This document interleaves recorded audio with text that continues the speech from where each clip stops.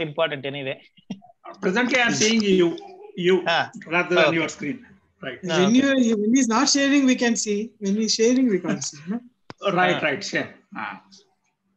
Screen broad live screen uh, broadcast Zoom as due to stop screen. Go to application. Okay. Now you're able to see me. Now I am able to see because I can't. It seems like I can't uh, share my screen as well as uh, this uh, slides, my video and slides. When he's not sharing, we can see. Okay, switch to ah. Okay, I think now I'll be able to do that. Just a second. Just a second. can- Because I think uh, now I've gone to the grid view. Wait, wait, wait. I'm just understanding this. Yeah. Screen. Okay. Start screen broadcast. Okay. Then I will go to this. Hmm, Power practices too. Okay. You're able to see my slides? Yeah. Yeah. Okay. Uh, Okay. now what I've done is, uh, colleague, Yeah, yeah. I have uh, But- sent the uh, active YouTube link along with that uh, YouTube uh, link. Uh, this thing. Okay. Hmm. Now this uh, this is uh, active actually. This YouTube Hmm. link is now active. ఇదేంటి Great. Navodaya విద్యాలయ సమితి I'm Yeah. Able to Ah, see one yes. More slide with this yes yes yes yes uh, can you share me the YouTube link, please? Because yeah, some people is, have apprehension. WhatsApp, WhatsApp I've sent. Okay. Okay. So okay. there is active link. Mm -hmm. hmm, hmm.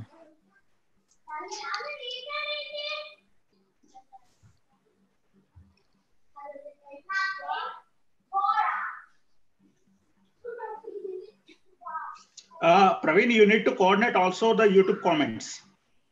Okay, okay. That has to keep in-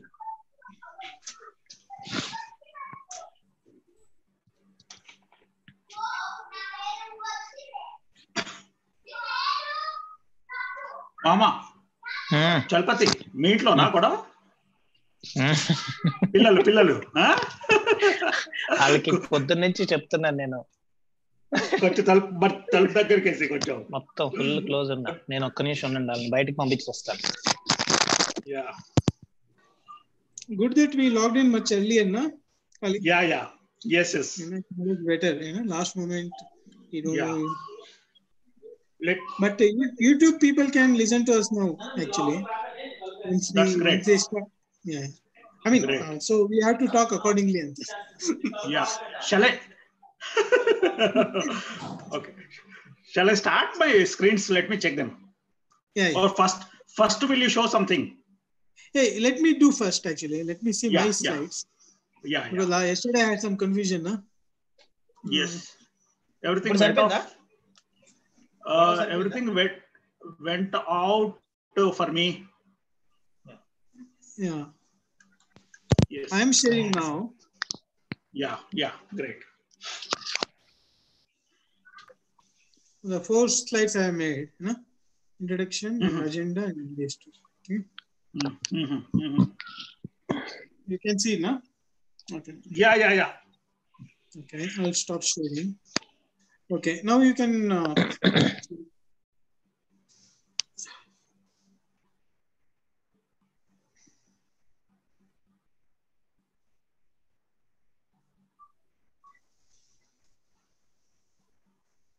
I just prepared the slides.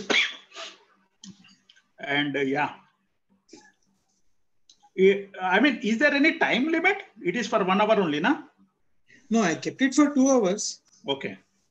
and just, uh, you know, Mhm. so that it uh, mm, uh, will stop much before, but I kept it all as long as two hours, you know, Yeah, yeah, just yeah. in case. Yeah, yeah.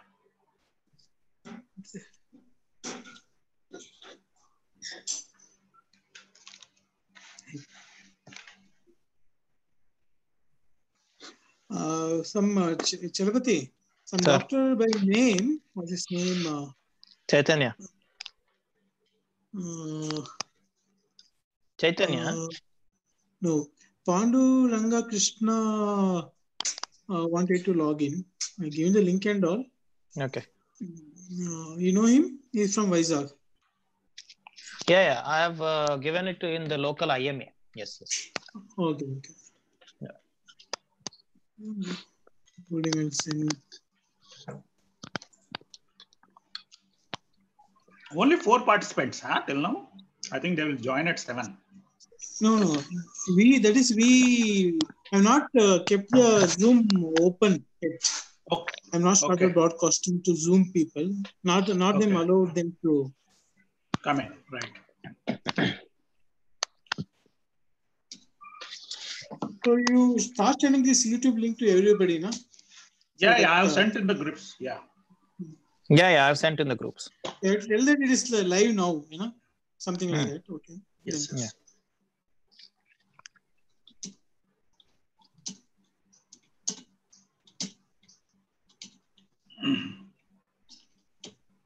The KIMS is uh, a medical college, huh? Chalapati?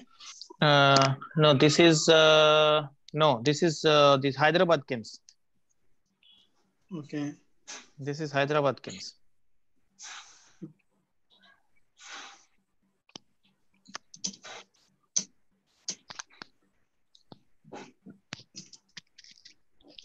Web వెబినార్తో చాలా advantage ఉంటాయి sir ఏమంటే కింద ఎవడ వేసుకు ఏం వేసుకున్నా ఎవడ చూడ్డు Ah, కింద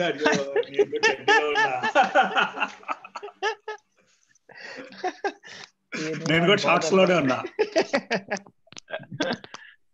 జస్ట్ స్నానం చేసి వచ్చేసాను అంతే. So three minutes to go should we allow now itself yeah three minutes sir still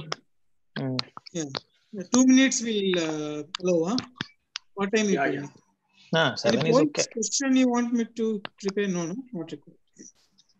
Mm. I should have prepared it earlier. Four. Yeah, you can allow. You can allow, uh, Praveen. Yeah, you can ah. allow. I think. Yeah. No, no, no, we have to prepare poll and give to them. We're not done that. Mm. I can do during the thing. Any polls to be given? No, no. Anything poll. Poll about not what? poll. poll uh, mm-hmm. no. You know. Mm.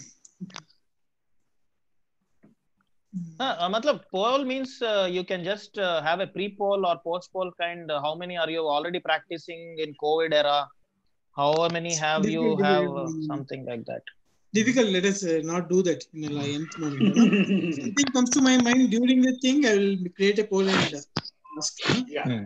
Yeah So it is how much? Uh, two minutes remaining. We'll let them come, you know, yeah i Yes, think yes, we yes. should allow yeah for broadcasting now, Zoom, Mhm.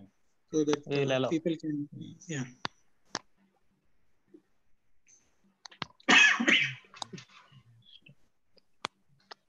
Now people are getting in actually. Mm. Great. Yeah. Praveen was behind me to get the more doctors. yeah right 17 good 18 that's good we'll start exactly at seven, you know. Yeah, yeah, yeah, boss.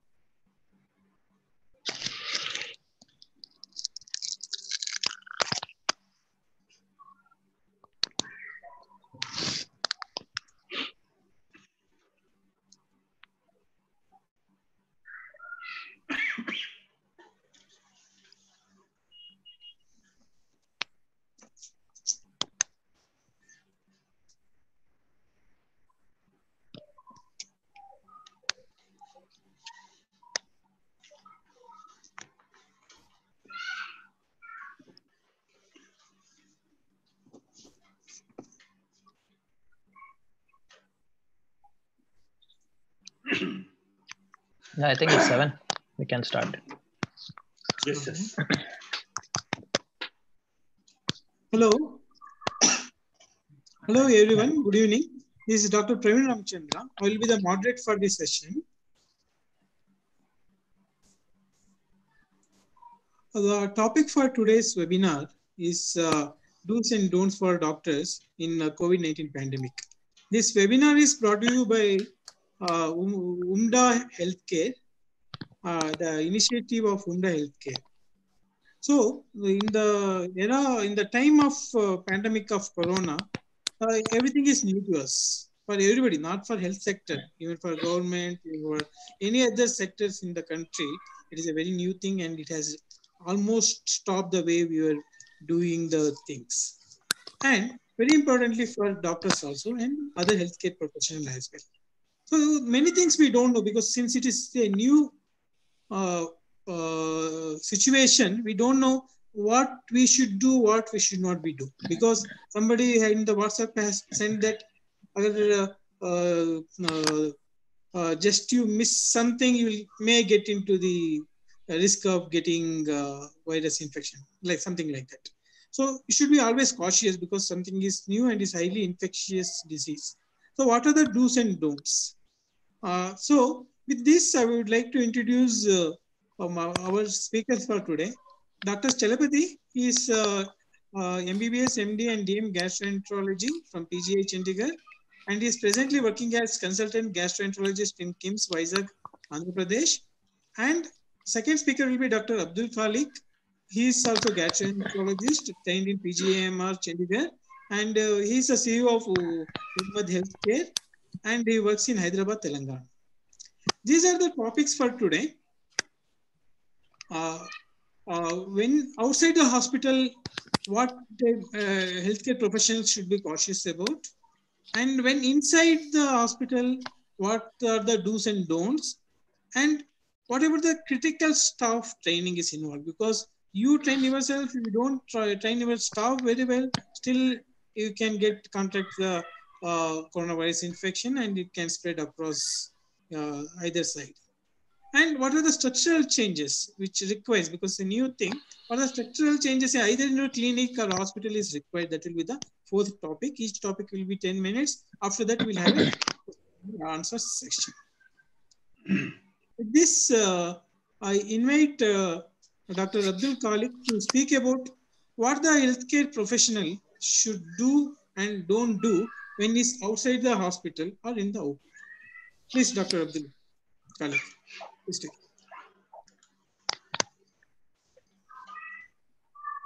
Yeah, good evening, everybody. Thanks for joining us uh, for this uh, webinar. We have also shared the YouTube link in the uh, groups.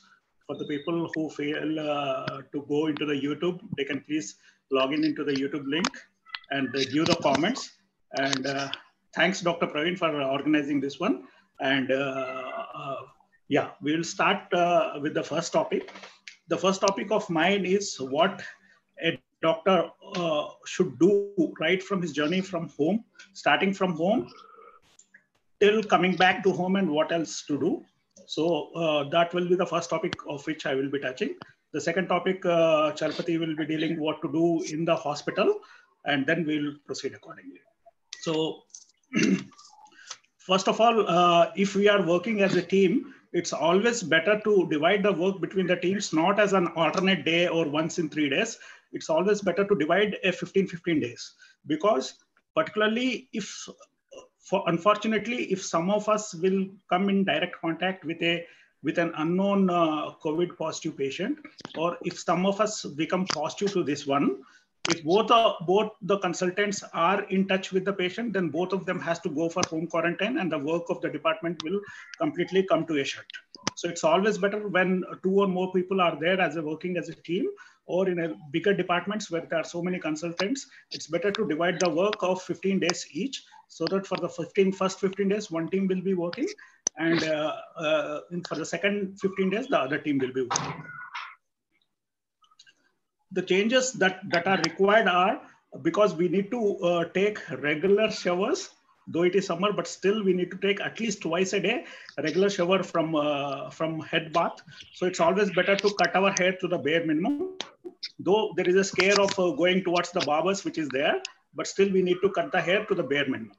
The second thing that we need to change in our uh, appearance particularly for people like me who have bird or for the people who have a larger bird is to uh, shave the bird to the uh, neatest possible way because that will help in the snugly fitting of the mask whenever we uh, we go for our clinical work.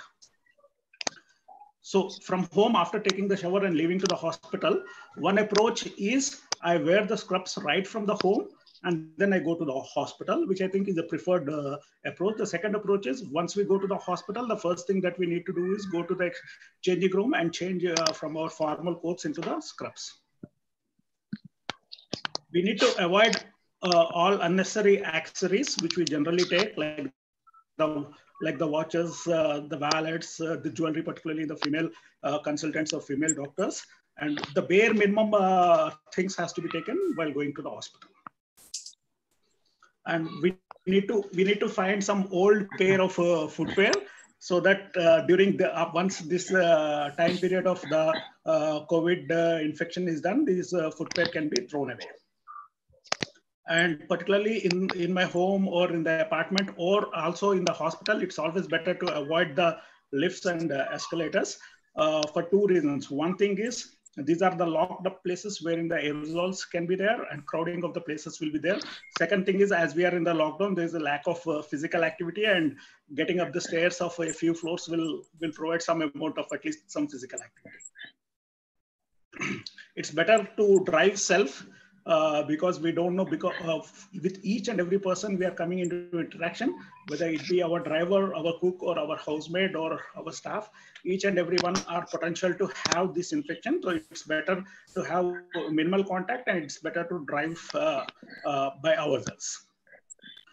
Uh, it's a good idea to keep a large sticker on the car uh, that we are a doctor on duty. Otherwise, particularly in the cities like Hyderabad, there is regular checking and uh, uh, by the police and interrupting to see why we are going and where we are going. So it's a, it's a good idea to keep a large sticker on the car that we are doctor and we are on duty. Within, within the car, it's it's better to keep the Bluetooth if it is available in the car. If if a Bluetooth facility is not there, so many speakers are available wherein our phone can be uh, attached to the Bluetooth so that repeated touching of the phone can be avoided uh, right from the car itself. Some extra things I generally put up in the car for the doctors who have the car, but for uh, a few doctors or for uh, for DMOs or for the students who are going on the on their two wheelers, all these things may not be required. They can simply replace this one with a small uh, bag, which can which will have a polythene within it, which can be easily disposed. But the, for the consultants who who have the car, these are the extra fittings that I keep within the car. One is a small dustbin wherein I can keep all the uh, all the things that I remove. I keep a sanitizer with me either a spray sanitizer alcohol based, uh, which with a gas or a simple push uh, type of a sanitizer in the car. The third thing is I, I uh, tend to keep my uh, regularly wearing mask, preferably a N95 mask uh, with me in the car. I keep a few covers of uh, my footwear, shoe covers within my car, as well as a box with tissue papers in the car as well as to keep the face mask, I generally use a, uh, a glass made up of uh, either Tupperware or, or uh, such type of a glass made uh, tiffin box. Or second thing is if uh, I don't have the facility of this type of a box, then I can use a simple uh, brown paper wherein I can keep my mask after coming from the work. So in the car, these are a few fittings which I suggest. One thing is the four upper things I think are mandatory. One is a dustbin, second one is a hand sanitizer extra in the car and uh, shoe covers, as well as the box to uh, keep the masks.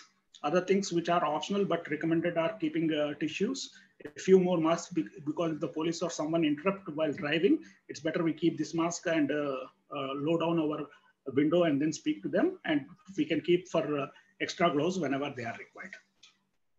So once I step out of the car, I am wearing my scrubs from the home. And once I reached my hospital, what I'm doing is I am putting in the face mask uh, by myself. I am wearing the sh um, shoe covers, putting some uh, tissue, paper tissues within my pocket to use it, and using a pocket sanitizer. I'm not using any accessories.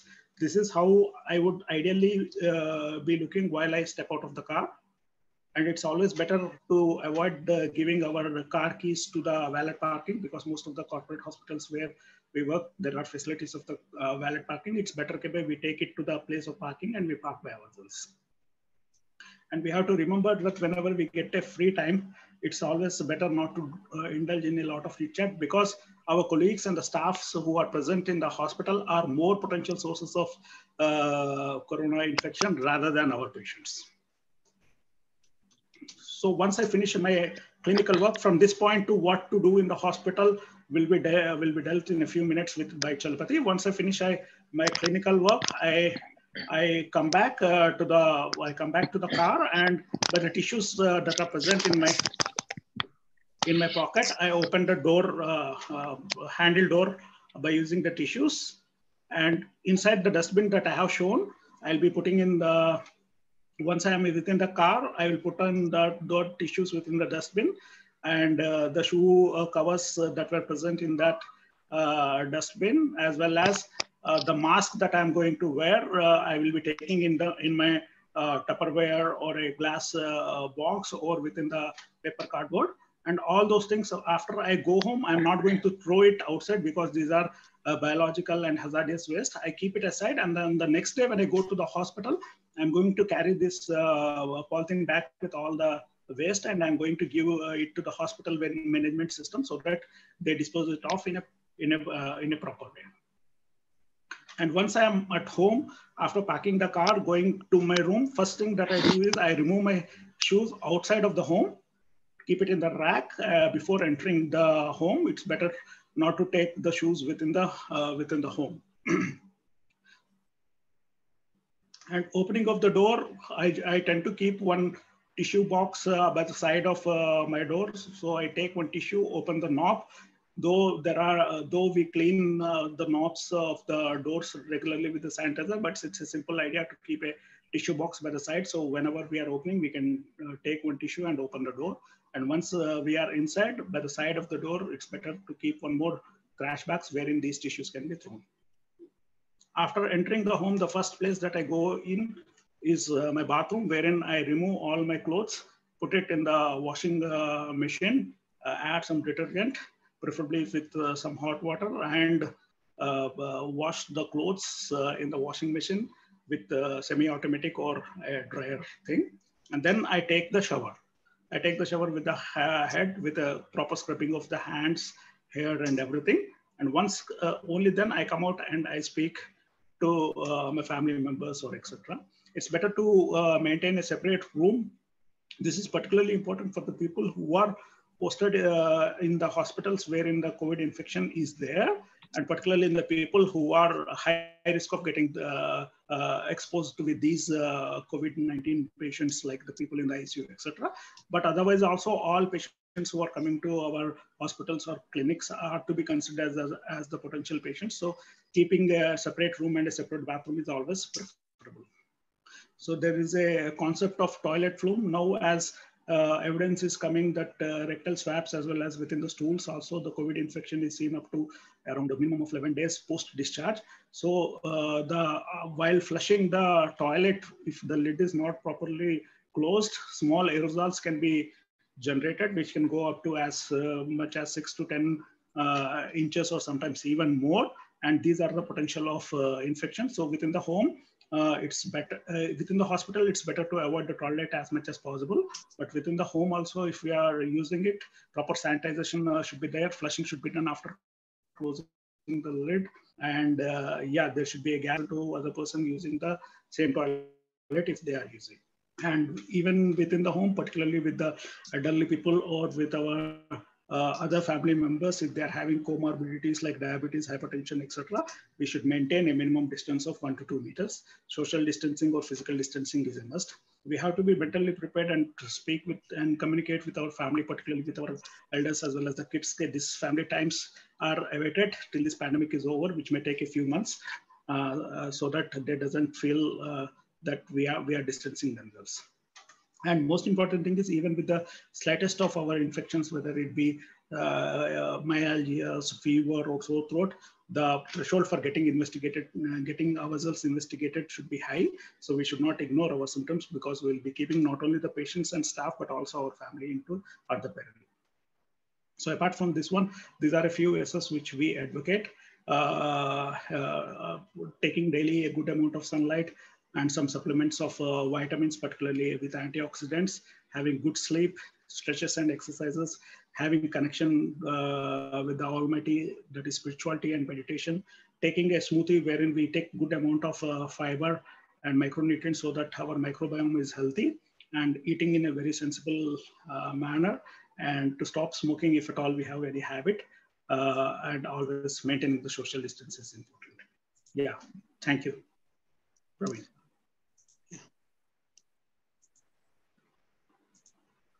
Uh, uh, thank you, Dr. Khaliq. Uh, uh, now we'll move on to the next topic. When you enter into the hospital, what we should not do and what we should do.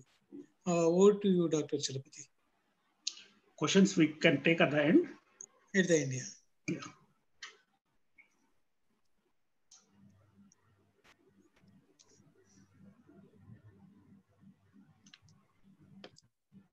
Uh, Chalapati, you can go ahead.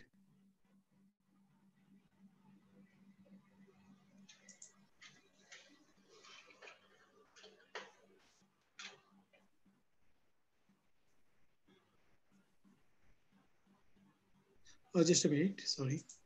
Yeah. Uh, yeah, Chalapati. Yeah. Yeah. Yeah, You can start Uh, now. Yeah.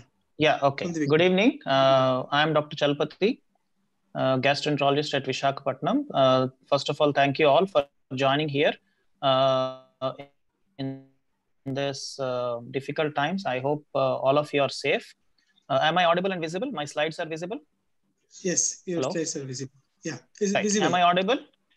Yeah. Okay, right. So, uh, Dr. Khaliq has given an overview of uh, what we are going to do outside our uh, uh, hospital uh, to protect ourselves and our family also. Uh, but since we are almost coming to the end of our lockdown and some relaxation period, we have to in, increase our visits to hospital and start our OPDs or procedures or do inpatient visits uh, in due course. So uh, I'm going to discuss about certain points, uh, what we should do and we should not do while we are doing uh, our rounds or daily patient care in hospital. So this may not be a great science, but it comes out of our common practice of infection control during these difficult times.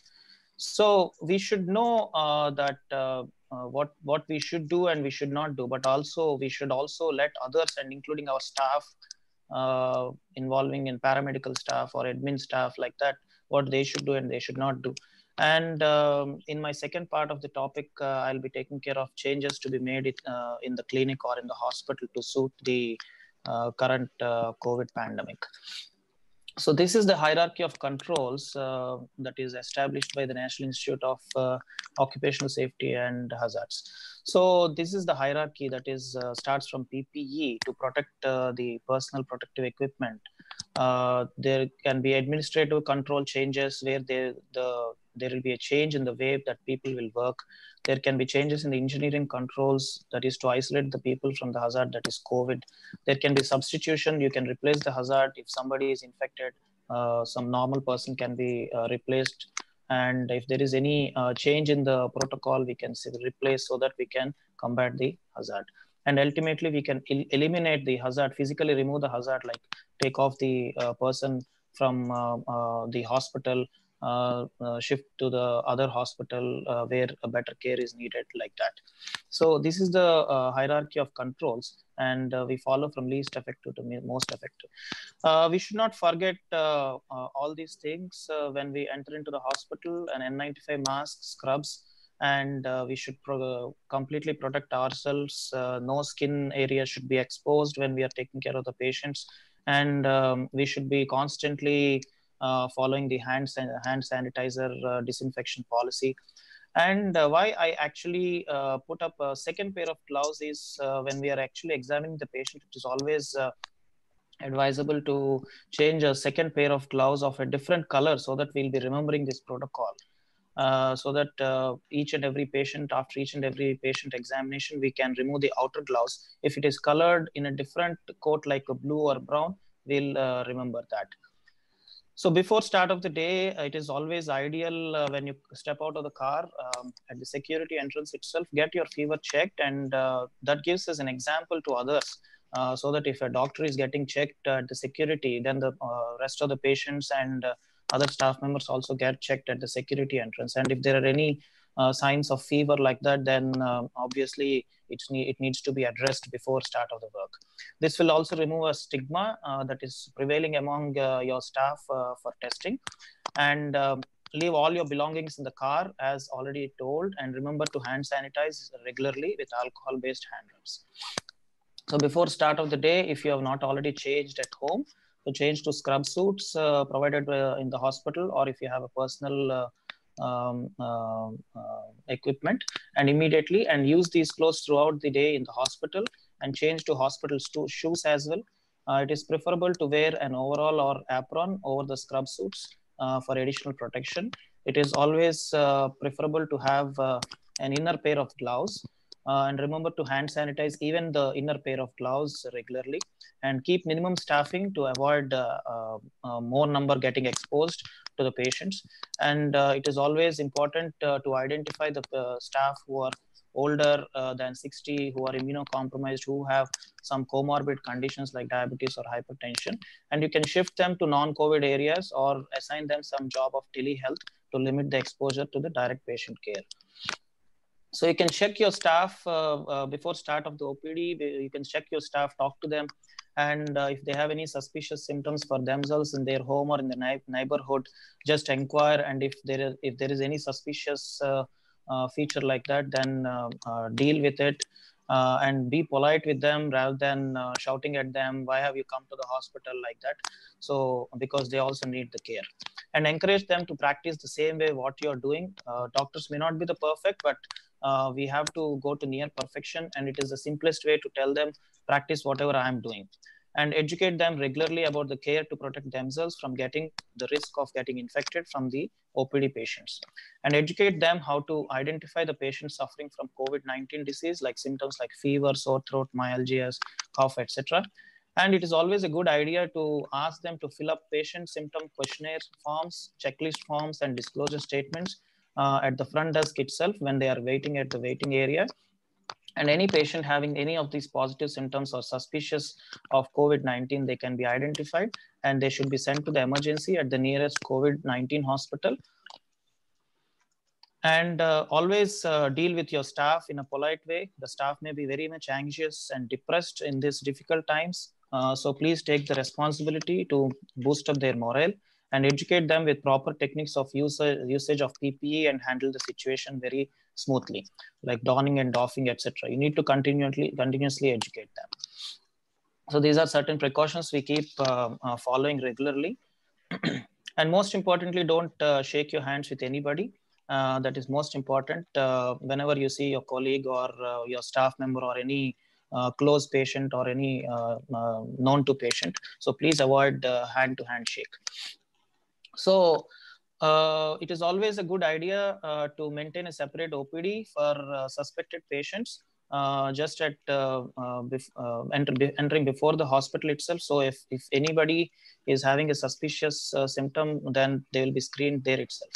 And run some COVID 19 related education videos in the television available in the wait, wait, OPD waiting areas near the, your chamber so that people will actually get what are the facts. And in fact if possible you directly talk uh, uh, make a video and post it on the television so that they can have a confidence. So this uh, these are some of the disclosure and uh, questionnaire forms that we follow at our hospital in Vizag, where patient will be uh, following this and uh, they will be signing it up and uh, uh, the questionnaire includes travel history any contact if there is any fever sore throat dry cough etc and sometimes with the risk of nosocomial covid infection sometimes a normal patient can also get infected. Uh, unknowingly and uh, they may have uh, they may create medical legal problems to the hospital and the clinic. So it is always better to encourage them to have uh, uh have been wearing a face mask and carry a hand sanitizer but still they can have uh, uh, they can contract a nosocomial infection. So it is always better to get them sign this informed consent so that you will be protected. So before start of the day, ensure that all your belongings, including the pen, wallet, phone, watch, kitchen keys, sorry, keys, chains, rings, ornaments, and belts are not carried with you. Either they can be kept in the car or safe locker, preferably in the car itself. All the patients and relatives present should be wearing a mask and educate, the, educate them to uh, use hand sanitizer regularly. So these are the certain things. Uh, the first two things you can use a Bluetooth. You can carry uh, two uh, two sets of Bluetooth, one at home and another uh, in the hospital, and you need not exchange it uh, so that the risk of uh, carrying infection is less. you can use a Ziploc cover to cover your cell phone, and you can handle the cell phone through the cover itself. But preferably, it is better if you handle it through a Bluetooth or hands-free mode, or you can give it to a non-medical assistant so that they can handle handle any calls for you. And remember, uh, all these patient care equipment like stethoscope, thermometer, uh, pulse oximeter, or patient weight scale, and uh, sphygmomanometer, all these things should be uh, disinfected regularly after each patient use. It is very, very important. And when you're in the chamber um, uh, while examining, um, uh, use a second pair of gloves of a different color to touch the patient and wipe out the stethoscope and uh, other patient examination between each patient. Change the outer gloves between each patient. Uh, it is very important. And wipe off the pen, table, chairs, examination couch, computer, uh, keyboard, computer monitor, doorknobs, etc. with alcohol wipes after entry and exit of patients and relatives. So it is very important. You can take uh, alcohol. There are uh, some disinfectant wipes available or uh, you can uh, use the regular alcohol scrub to spray and then wipe it off with the tissue. And similarly, most importantly, the elevator knobs also need to be disinfected. All the formats need to be disinfected because they still carry the risk of uh, transmission, transmitting the infection. Uh, as much as possible, avoid touching the face when you are uh, showing your emotions with the patient. If you are uh, uh showing some uh, empathy towards patients sometimes we use uh, these kind of gestures by touching the face, nose, and eyes. And don't do that even with the gloved hands. Avoid close contact with the patient while examining or talking to the patient relatives. OPD can be conducted in halls uh, rather than rooms. Certain uh, uh, of my colleagues they do practice that, but this might cause a breach of identity and may not be accepted by many patients, especially female patients and elderly patients.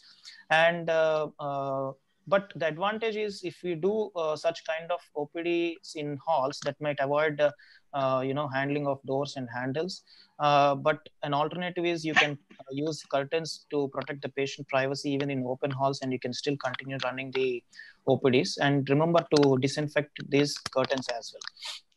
The other precautions is use uh, fresh, uh, fresh paper for each prescription each time. Uh, don't uh, turn around the paper and use the same paper because it will be carrying, it might be carrying uh, uh, some infection. And after the OPD, advise the patients and relatives to use alcohol sanitizer and not to touch anything with their hands, especially the staircase handles, lift doors, and lift control buttons. If at all they need to do, they need to do, uh, they need to handle it with uh, gloves or using some tissue paper like that. And ensure same, uh, ensure the same precautions and steps for, are followed at the pharmacy and lab also. It is very important. And at the fr front office, lab, pharmacy, a transparent acrylic screen can be placed to uh, use a barrier uh, as a barrier between the hospital staff and patient relatives. So I'll be dealing all the, some of these things uh, in my next part of the lecture. And most importantly, never forget washrooms uh, that are uh, present in the patient waiting halls. Ensure only one person utilizes the washroom at any time. ensure proper flush of the excreta and cleaning of the excreta and urine on the floor, pan, lead, and other places. And please educate them to close the lid first and then flush it so that there will not be any aerosol spread. Uh, encourage use of soap and water to clean the hands after use and ensure the proper disinfection of these rooms uh, with so sodium hypochlorite after each usage, uh, including the doorknobs, pistons, and taps. Encourage to air dry or use uh, toilet tissue to clean the hands and properly dispose it off in the appropriate bin. And finally, uh, whenever possible, encourage uh, telemedicine consultation for non-urgent patients, especially follow-up patients who want to refill their prescriptions. This would reduce the crowding and physical contact, but understand the telemedicine guidelines first before following that. And if there is any doubt, please do not hesitate to call the patient for physical examination with full protection because patient safety is of prime importance. Few words about inpatient care. So uh, many physicians uh, uh, they deal with COVID patients, including the ICU staff, the emergency doctors. But a few of the gastroenterologists also they do get calls because certain patients they have GI symptoms. it is always important to identify and maintain the COVID and non-COVID zones uh, first in the hospital, including ICU, maintain the same precautions for infection control, but follow it more stringently as there would be more sicker patients, shift to full gear personal protective equipment for all IP care, and minimize the number of, most importantly, minimize the number of physical visits. Uh, like if you have a habit of uh, seeing your patients twice or thrice uh, per day, minimize it, and also minimize the staff while you're uh, on rounds, uh, especially uh, physician assistants, interviewers, patient counselors, etc and also avoid duplicate staffs if you can assign multitasking to the minimum size of staff. Utilize the patient examination, patient care uh, equipment in dedicated way for each patient without exchange, very important. There is a habit of using the same BP machine to multiple patients, stethoscope to multiple patients, which can uh, transmit the infection. And encourage the staff uh, to keep, if there is a ventilator or a defibrillator, rather than assigning to each and every patient, it is always better to take off these life-saving equipment to a common area and uh, keep a lock of it. And if there is any need, then transfer this equipment to the patient care area. Otherwise, if they are lying free in the patient care area, they can carry some infection. So it is always better to uh, isolate them from the patient care area, but keep it uh, in the nearby area. And avoid uh, visitors, uh, patient roaming outside uh, for an evening walk like that, and avoid mixing up uh, with non-COVID patients. And it's very important to educate the security staff, nursing staff, housing staff, housekeeping staff, and administrative staff about the infection control practices. What about cross consultations? Um, for example, uh, if uh, the COVID patient or some other patient is in is admitted with uh, uh, some other primary care physician, you will be called for uh, that there is a diarrhea, there is jaundice, there is hepatitis. So gastroenterologist will be called, and before going doing that, please remember that up to 11 to 15% of patients can have GI symptoms, including diarrhea, nausea, and vomiting. Up to 75% of patients can have liver enzyme abnormalities, as reported in various series, and up to 10% of patients can have jaundice. Especially these abnormalities and GI symptoms can be more severe, especially liver injury in more sick and severe patients. So be careful, especially in ICUs. Try to avoid multiple doctor consultations. This is very important because a primary care consultant will call you, come and see the patient. It's better to avoid multiple doctors having a physical consultation for a single patient. You can uh, just consult the patient from outside. So what my advice is one primary doctor can see the patient and others can review his records outside the patient area and be available for phone consultation. That is important. And that is enough also in these difficult times. So if there is any emergency procedure is needed, always uh, uh, follow the standard precautions and part of it will be discussed in my next talk. So most importantly, protect yourself, but your staff also should be taken along with you uh, as well. Thank you. Oh, thank you, Dr. Chalapati. Is uh, very insightful and uh, going by the Dr. Khaliq's first talk and Dr. Chalapati's talk, uh, I'm sure that including me, many of the attendees or many of the doctors will be following only 3 to 5% of what the uh, speakers could tell that how much we should be cautious. So it's good that we have this uh, webinar much before uh, the community spread is occurring or before the lockdown is over. Uh, so I move to this uh, next important topic that is uh, by Dr. Abdul Khaliq that about staff training in a medical center. Uh, please, Khaliq. Yeah. thanks, Chalapati. Thanks for the very good insight that you have given us.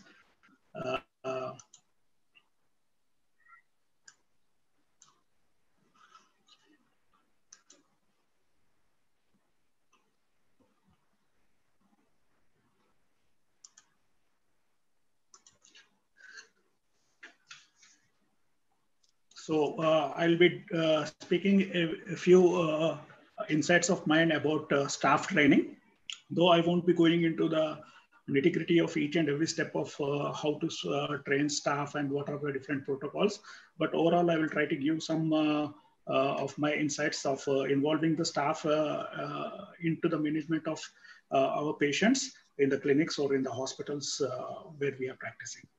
So the uh, first of all, the importance of training the staff is uh, particularly we should take care of their safety. And if they are not well trained, they are likely to do mistakes.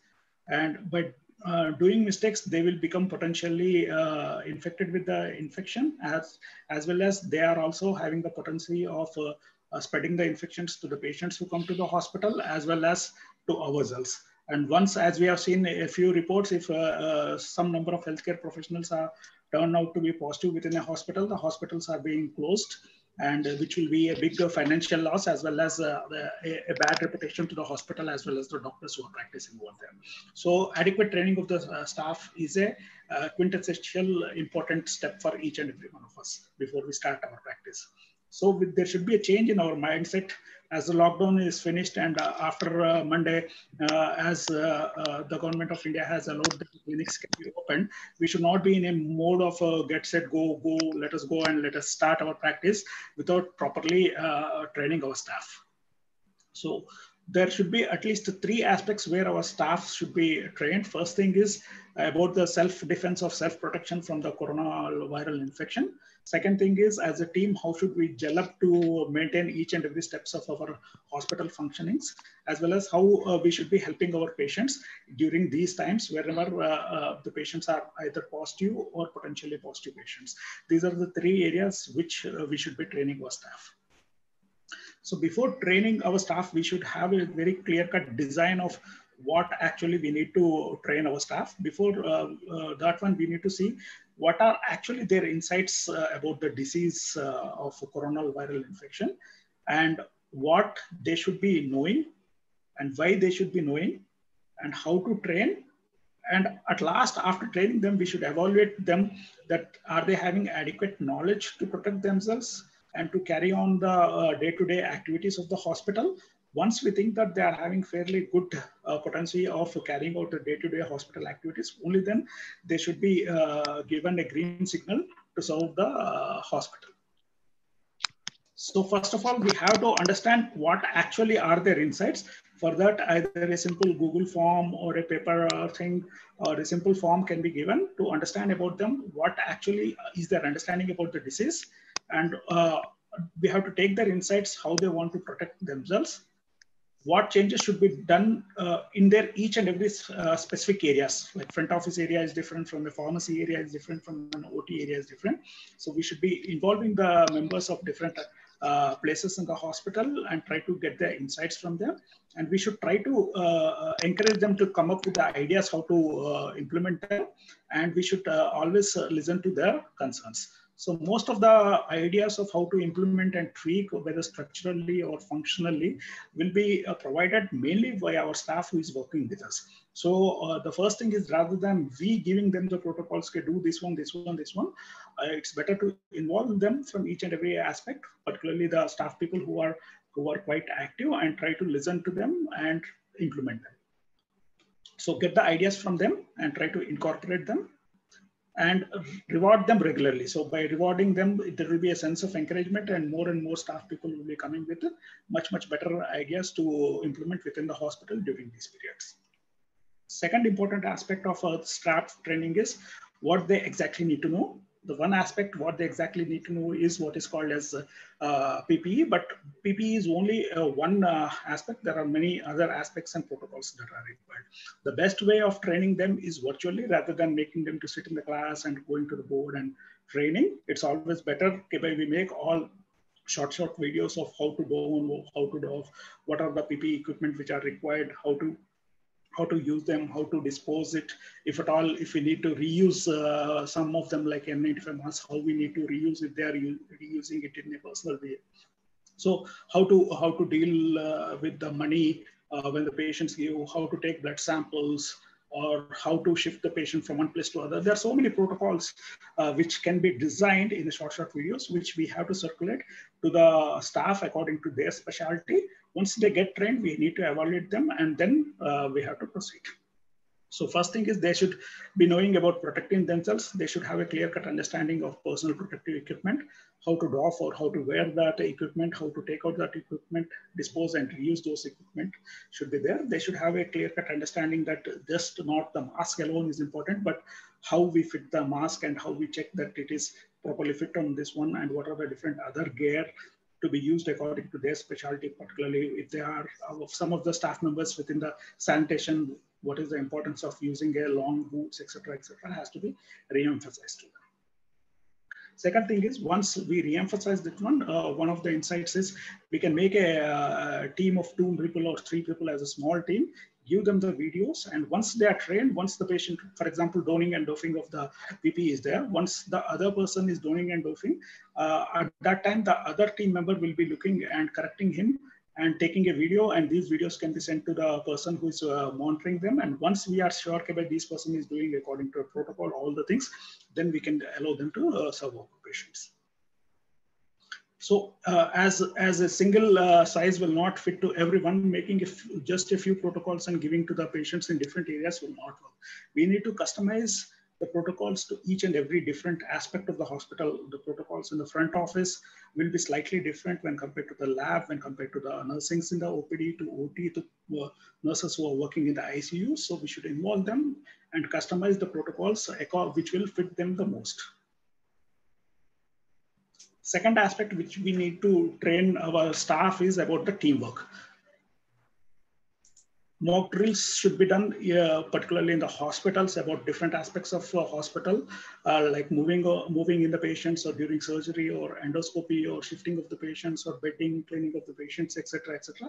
These need to be done by wearing the proper PPE. So, uh, doing uh, as shown in this picture, wearing a simple mask is there and, and not proper PP is there, but by wearing the whole gear, how difficulty will be there for the staff to actually do these procedures has to be trained before. The third aspect is different aspects of what we call it as the movements of truth within the hospital has to be uh, has to be written it down or has to be marked. Like after coming to the hospital till they leave the hospital, for each and every staff member, uh, what are the type of the clothes that they have to or the outfit they have to wear and come and what what the what should be their workplace etiquettes uh, should be there and how their eating habits uh, should be and while using the bathrooms how to use them and what to do after going to home. All these things has to be discussed as short short videos has to be given to them and uh, should uh, should emphasize them to uh, follow these things.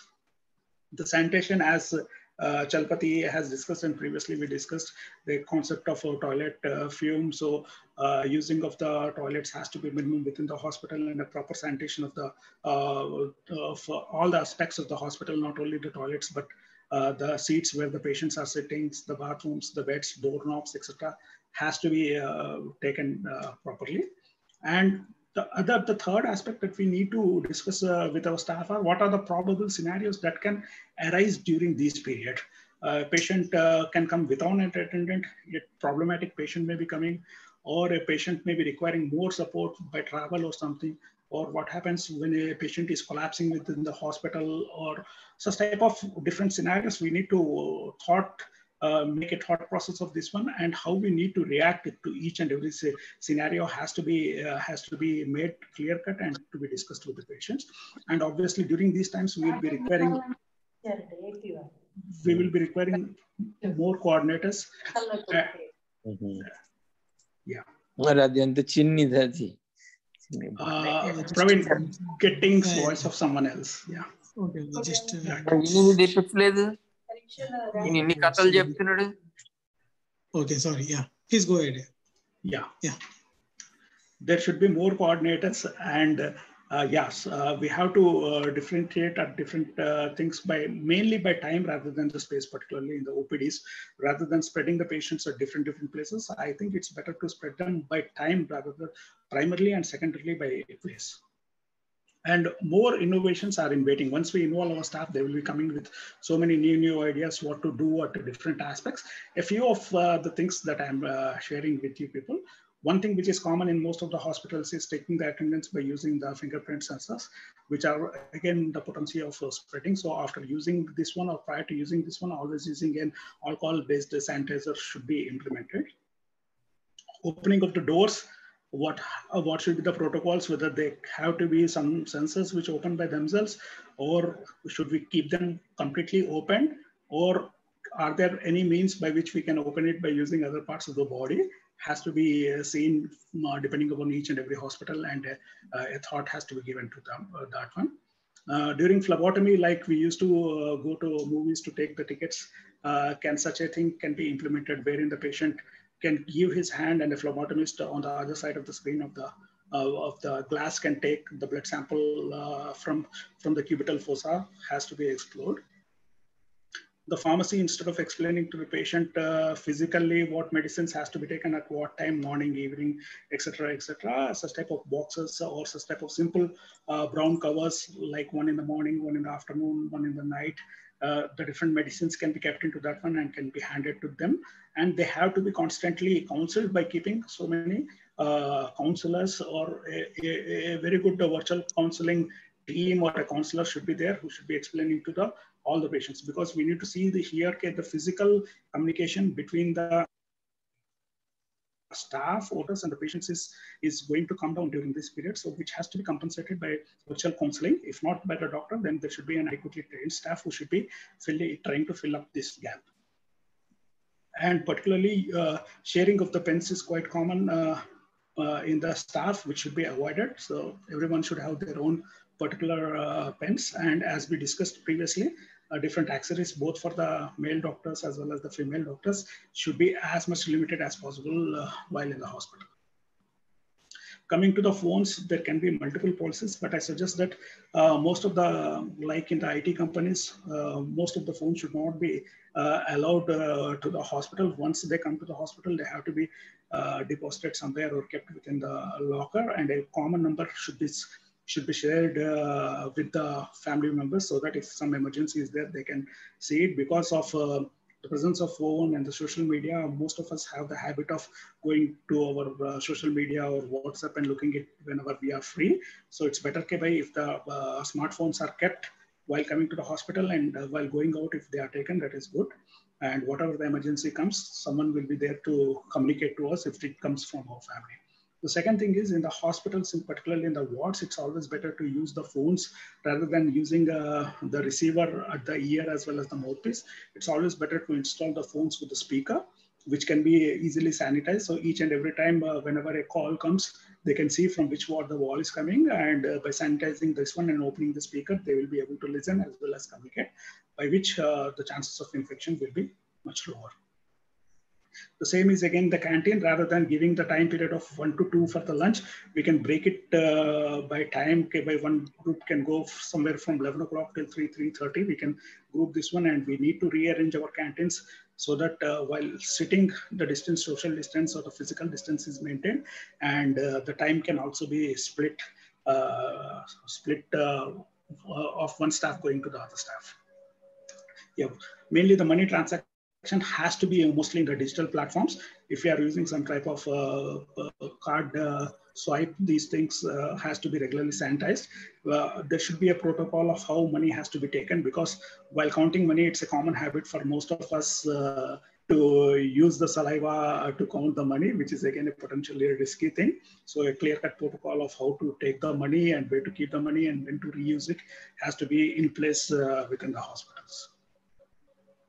Yeah, as the, as the, we know that coronavirus doesn't differentiate between a poor person or a rich person. It can infect both the poor person and a rich person and younger people and adult people. In the same way, in the hospital, we should also uh, should not try to differentiate between uh, the doctors or the high-end consultants versus the other staffs like a janitor or a, or a security person. Whatever the pro appropriate uh, uh, whatever the appropriate uh, PPE is there, we should ensure that the, all our uh, staff should be getting an adequate PPE. And during these times, uh, most of some of the staff may have significant fear. We need to communicate with them, give some support psychologically, and some of them will be requiring even the financial support. We should be there to help them out in our hospital or clinic setups. And uh, some of the some of our staff members may be so frightened that they, they, they may prefer not to work. Uh, in such a scenario, we should give the choice to them uh, to take a break for some time, but we have to support them both psychologically as well as financially whenever it arises. So guiding them, assisting, advising, supporting, and help is the other leadership uh, role that all the doctors uh, should take apart from our routine clinical practice. So the difference between a boss and a leader, as we know, that boss is generally throws the orders to do this one and that one. Rather than that one, we should be at the forefront and showing them the way that how we need to manage the patients. And uh, this is a adequate time wherein we, we, we, we try to show our leadership skills. As was said by one of the very famous uh, entrepreneur, Mr. Richard uh, Branson, sir, I truly believe that if you take care of your employees, they will take care of your business. Thank you. Uh, thank you, Dr. Khaliq. Uh, so it's a wonderful sessions we had and very insightful. Uh, so now I uh, invite Dr. Chalapati for uh, structural changes in clinic and hospital. So what's happening is it's like a warlike situation. So Donald Trump tells it is a war. Dr. PM Modi tells it's a war. So we need to change a lot of things. Till now, what we is doing and post COVID is going to be a very different thing. And uh, Dr. Ch- I invite Dr. Chalapati to talk about what are the structural changes required in a simple clinic or a big hospital to fight this. Please, Dr. Chalapati. Can you add the share feature, please?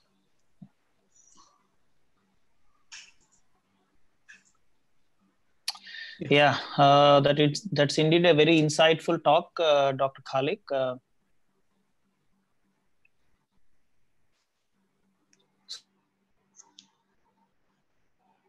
so I'm going to uh, talk about uh, what kind of uh, structural changes uh, are suggestible in clinics and hospitals. So there are various clinicians uh, who work in individual clinic and also who work in uh, nursing homes and corporate hospitals. So it may not be an individual decision, but it, it is a collective decision between yourself with the management and admin. And it may involve a lot of cost, but sometimes it may have to be done to control the infections and protect everybody. Uh, there are no specific guidelines, but it uh, again generally goes with the general practice of infection control, social distancing, and minimizing the infection. So before going that, I want to give bring you few facts about the Indian uh, scenario. So you know the uh, the most uh, uh, contagious problems, the most communicable problems are pneumonias, acute respiratory infections, and the acute diarrheal infections uh, which constitute almost uh, 75% of uh, cases is as per 2018 data. So they are the deadliest communicable diseases. And uh, coming to the various countries where uh, uh, the deaths are because of contagious diseases, the highest is South Africa, Pakistan, and India. So we do suffer with a lot of contagious diseases, and we should understand that. and we all know that COVID-19 is a very contagious disease. And uh, this is one of the census as per uh, global health security rank uh, out of 195 countries. Sorry. just yeah. So India ranks 57. So the higher the rank, it is the more likelihood that we can suffer with a lot of epidemics.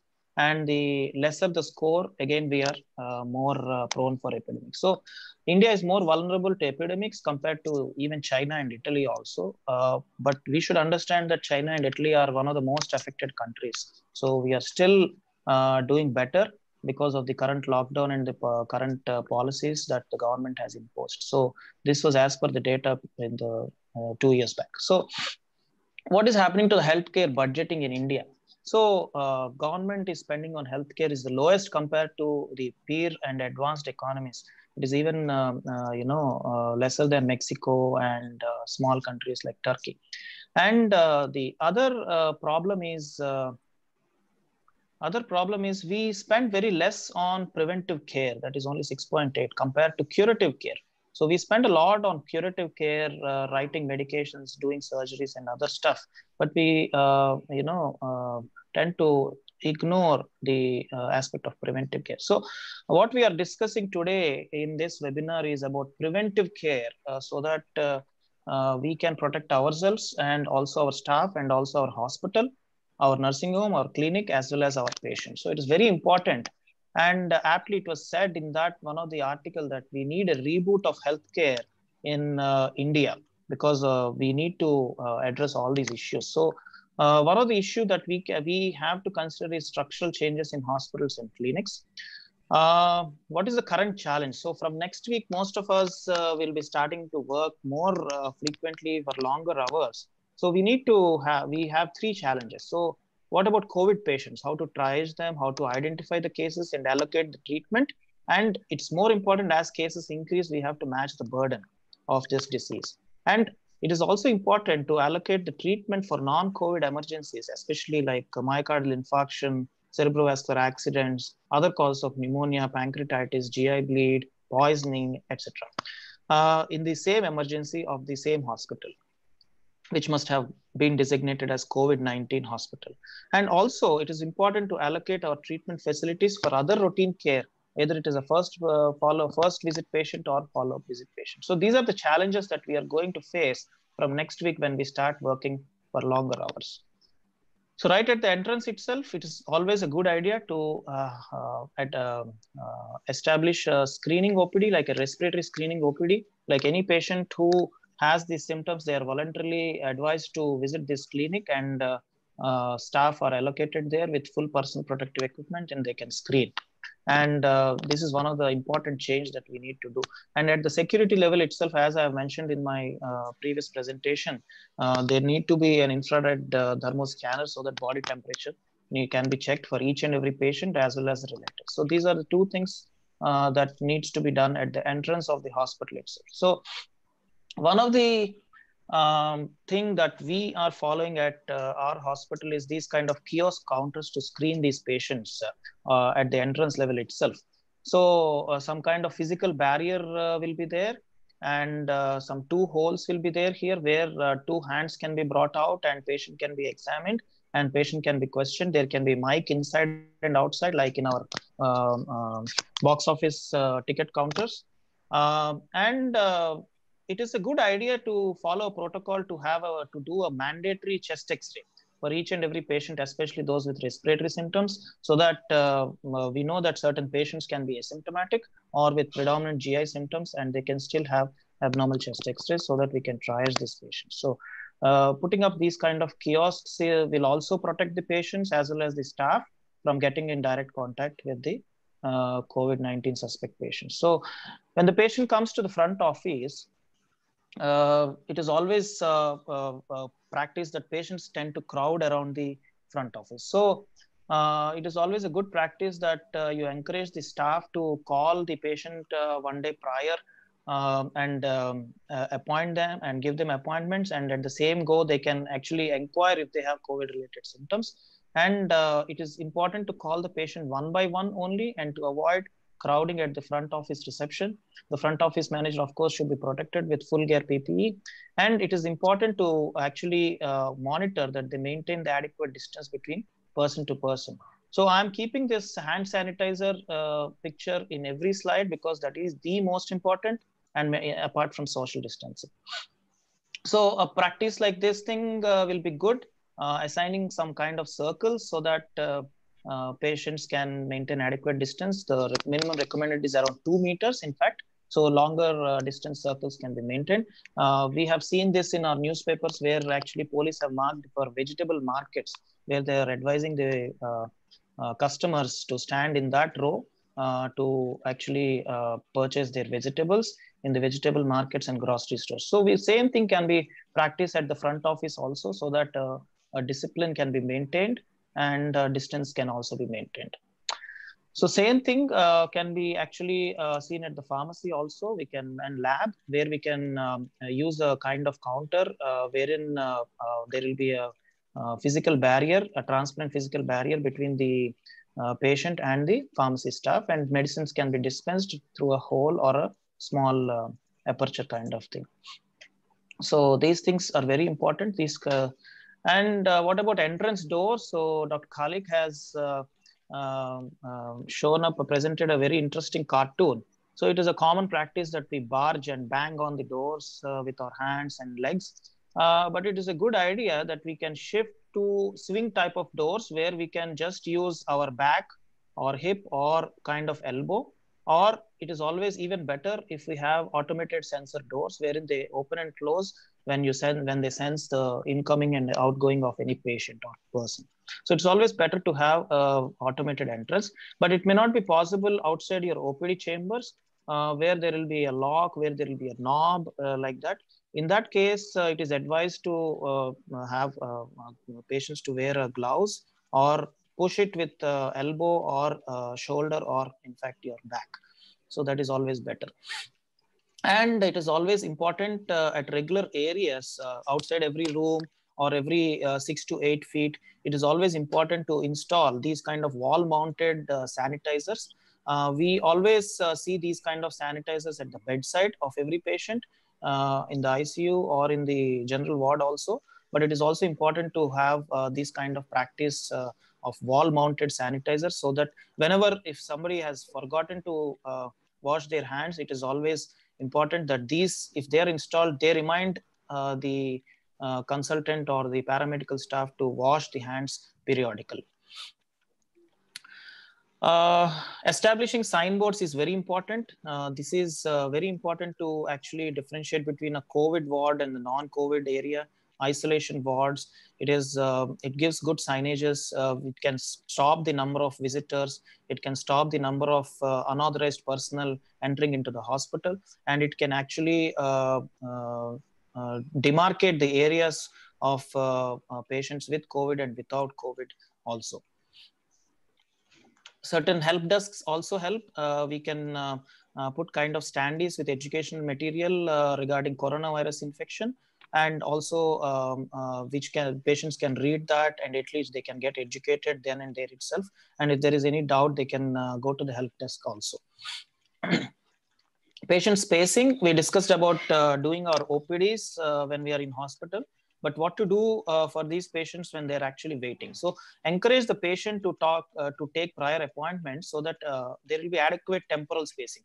So it is, uh, as Dr. Khaliq told, uh, there should not be a policy of get, set, go for the consultant as well as for the patient. So uh, it is always better to encourage to have some a gap of 30 minutes for each patient or at least 20 minutes for each patient. So if there is a spillover, that margin of temp, time is allowed and uh, this would avoid overcrowding and we know that overcrowding even in hospital is a big risk factor for spread of this infection so ensure uh, each patient sits in every third or fourth chair in the uh, opd waiting hall that may actually give a, a, distance of 6 to 8 feet so that there is an adequate distance and also mark the op floor as i've uh, uh, previously described uh, with some tapes or kind of paint around 1 to 2 meter each and install stoppers also uh, so that uh, patient follows a line and uh, this would maintain adequate spacing and this would also remind the patient of the rules and the precautions. So this is the kind of thing. Uh, I borrowed this slide from my uh, uh, dear colleague, Dr. Sridhar from Guntur, who is following this kind of thing on the right side of the screen. You can see that how patients are sitting in a disciplined way and they move chair by chair whenever they, their turn comes. So uh, one or two chairs, uh, leaving one or two chairs are uh, is adequate. And sometimes if the if in COVID ward or if you're there is a chance of mis- mix up, then it is always better to maintain longer distance also, at least two meters like that. So in chamber, uh, uh, what to do? So uh, patient should be allowed inside with only one caretaker inside the chamber uh, who is more most responsible, who can understand you, who can listen to you, and you can counsel them in one go. And uh, it is always important and a good idea to remove the patient's stool. Commonly, two relatives will sit in front of you, and one relative, one, and the patient is going to sit beside you uh, in the patient's stool. So it is always better to remove that stool because he is the most uh, uh, important suspect of any kind of disease. So I encourage only one relative and the patient should sit beside them in adequate distance and from them from between themselves as well as from you also on the opposite side of the uh, uh, of your consulting table so maintain at least six to eight feet difference uh, distance between each other so don't be over enthusiastic while you're consulting it is very important uh, uh, to counsel the patients but we have common practices that we start uh, drawing pictures we take up our ipad and draw pictures and explain the patient uh, moving very close to them. But uh, in this uh, period, please avoid that. Let the patient only remain the opposite side and you remain the other, on the other side and turn around your computer if possible and then start explaining to them. Uh, obviously, Indians are very, uh, uh, you know, famous for desi jugaad. Uh, these kind of screens were uh, established in one of the clinics shared through WhatsApp group. Some kind of physical polythene barrier was uh, installed, and doctor physician was observe was examining the patient on the opposite side. So that may um, uh, prevent uh, physical aerosol. But uh, the problem here is the doctor is not wearing any mask. so please excuse me for that on his behalf. so the so this is the practice in OPD room. Uh, uh, when you're touching an abdomen or doing uh, some kind of physical examination on the other parts of the body, so please be careful to wear outer gloves, as I told you, and same practices should be followed. So coming to the near the theater area, surgeon and staff changing rooms are very important. Please make sure that only one surgeon or staff is present in one room. And uh, when you're donning and doffing it is very important to follow the protocols. And more importantly there should be two chairs while you're doffing as per cdc guidelines one a clean chair and another a dirty chair. So once you're uh, coming out of the patient care you have to sit in the dirty chair. Uh, make sure that you actually remove everything and uh, sanitize yourself uh, remove the ppe and then move on to the clean chair. So it is very important not to mix it up. And of course in the ots negative pressure laminar flow rooms uh, majority of the ots uh, have this. So i need not emphasize on that. There may not be much of uh, things need to be changed in this changed in this area. Uh, in the scrub area in the wash area it is always better to have leg controls or automated sensors and avoid contact with hands and fingers and uh, i'm sure my surgical colleagues uh, will be following all these things Regarding doors, again, OT doors, there are many kinds of OT doors, but it is always better to have a kind of uh, uh, sensor. Like if you see in this uh, area on the right side of the lo uh, slide, lowermost corner, this is the leg sensor. So you can just raise your leg in front of this sensor and automatically this door opens and closes rather than this kind of thing where you need to actually barge inside by pushing it, which is not recommended. Most importantly, our critical care colleagues, anesthesia colleagues, uh, they have the habit uh, of actually uh, leaning forward and doing intubation and patient uh, uh, may be coughing and though how much so ever you are protected with the personal protective equipment, you can still have this risk of exposure. And as shown in one of the recent NEJM uh, paper that um, using ultraviolet rays, fluorescent dye is put up in the simulator and a cough simulation was made and when the mannequin coughs uh, the, the, the doctor is filled up with entire these kind of droplets and these are potential aerosols that can infect you. So this practice is very bad. So please avoid all these things. A simple modification is this kind of uh, box made with acrylic of this kind of measurement 62 into 47 with two holes and the performer will actually wear full PPE and the patient will be inside this box right from the mid chest till few centimeters away from the um, uh, head level. And through these two hands, all the anesthesia equipment, the intubation equipment can be actually um, um, uh, managed and patient can be intubated safely. So this is actually published. This is called barrier enclosure. And there are various modifications that have been coming up in the WhatsApp. So uh, you may take up any of those things. So inside the OR, this is one of my dear colleague uh, and colleague surgeon who is doing and uh, he's with full personal protective equipment. You can see that there is no skin exposed to any of the free air, both of them, and there will be minimal staffing. So please provide, uh, ensure that uh, there will be full personal protective equipment uh, in the OT and uh, there is minimal staff, but you should ensure that there is maximum patient safety uh, and also you should protect yourself maximum. So my colleagues and myself started using this kind of face shields to actually prevent uh, the uh, direct aerosol contact when you're doing some kind of endoscopies or when you're intubating. So it is always encouraged to have these uh, kind of stuff. So coming to the endoscopy suites, this is one of, from one of the presentations from Professor G.S. Raju. So if you are bound to do an endoscopy for a COVID positive patient, you should anticipate it. So it is always better to design, designate this area as COVID negative or positive at the reception area, as well as the preparation area, as well as in the endoscopy rooms, including the changing rooms. And immediately all the equipment should go into the soiled scope for soil scope cleaning for cleaning and disinfection. So it is always better to demarcate these areas so uh, physically also so that there will not be any mix up as you are doing it in the uh, wards also so importantly uh, about the icus um, there will be uh, most of the corporate hospitals will have multiple ICUs in multiple floors. Like uh, surgical ICU is next to the uh, surgical floor, that is the OTs, and medical ICU is next to the uh, in the first floor like that. So multiple ICUs are there. So you can designate them as COVID ICUs and non-COVID ICUs separately. It is just a matter of identification and redistributing them. And similar practices need to be followed even in the accident and emergency department, that is casualties or emergency rooms. So it's very important to avoid these mix-ups. And as I showed, uh, signage boards are very important and uh, there should be separate hospital entrances as released by one of the GOs from uh, um, uh, Andhra Pradesh. They have suggested to have separate uh, hospital entrances and floors can be identified for uh, other admitted patients like first floor is for this patient category of patients, second floor is for this category of patients so that there will not be any mix-up in, this, in these wards and washrooms very importantly uh, majority of hospitals have these kind of washrooms where people uh, uh, go chit chatting and uh, uh, it's a common practice. And sometimes there may be one toilet and a uh, lot of people will be waiting in the queue.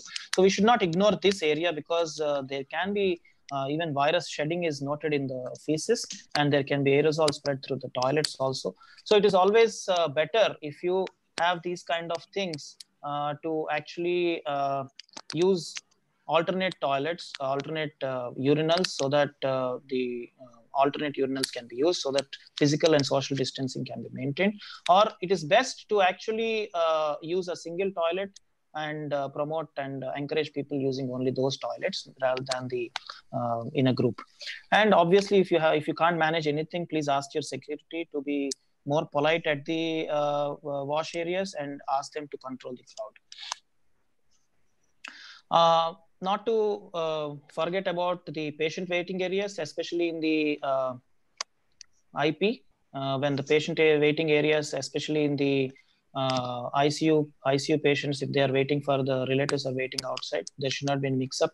There should not be any mix up at the laundry. Again, assign separate machines and laundress for that washrooms we have discussed, especially the biomedical waste management services. You have to see that uh, there is no mix up uh, at the sewage level and canteen, Dr. Khaliq has discussed, and maintain adequate staffing for each and every area.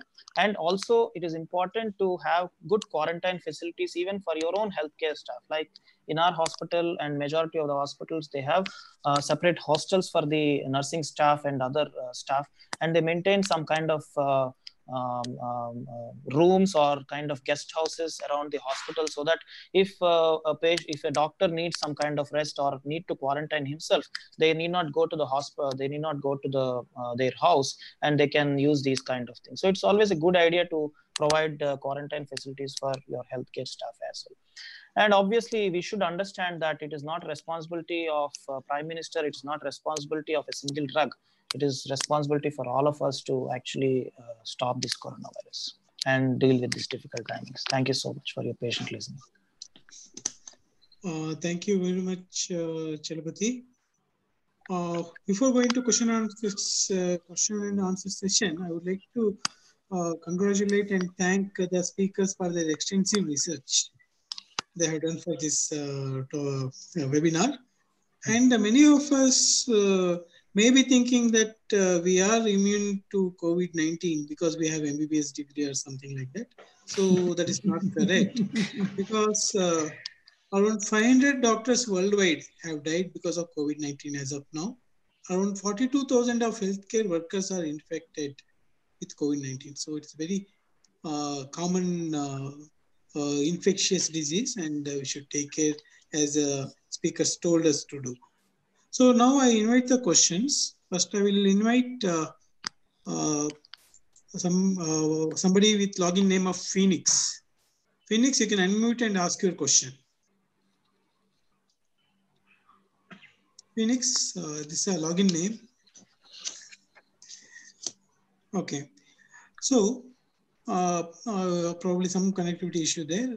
I'll go to the questions asked by our uh, YouTube viewers, uh, with uh, Mr. Arjun is asked about money transaction. What about money transaction? Probably Dr. Ahmed uh, covered the topic. You want to tell in very quick uh, this thing? Yeah. Yeah, most of the money that should be uh, done the transaction transaction between the patients and the hospital or the clinics should be primarily through a digital platform. There are so many uh, wallets are present as well as Google Pay, Paytm, etc. There, preferably we should insist to our patients to pay the money uh, through digital platform. The second preferable is using a card and swipe.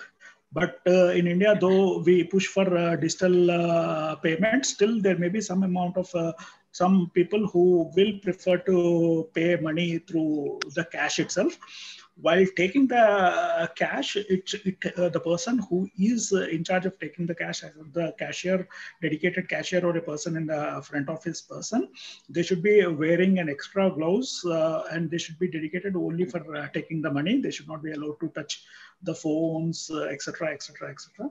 And once they take in the money, they have to keep it in a separate box and as we know that uh, uh, the virus can stay for a few days.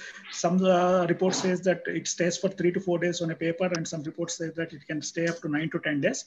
Whatever the money is uh, collected once the counting is done that money should not be reused again for at least 10 days. After 10 days that money can be used for a uh, for circulation point of view. Yeah. Okay now I allow Dr. Uh, Srinagesh to ask the question. Srinagesh, you can unmute and ask your question.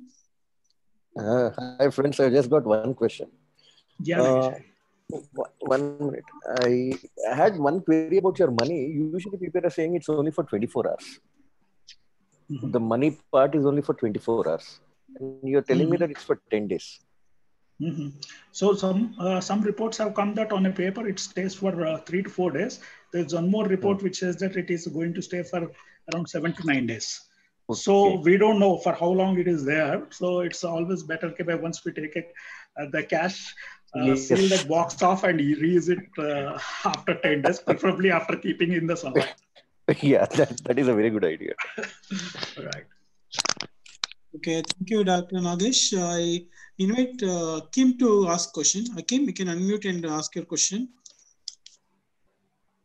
Yeah, please go Hello. ahead. Hi, I'm Dr. Satish, gastroenterologist from Tirupati. Why can't we take uh, complete history through phone and review the patient's reports and everything through WhatsApp so that we can minimize the uh, contact with the patient? So Yeah. whatever required physical examination can be completed and history will take through phone. Why can't we do like that? Yeah, yeah, definitely, Doctor. That is one of the very good suggestion.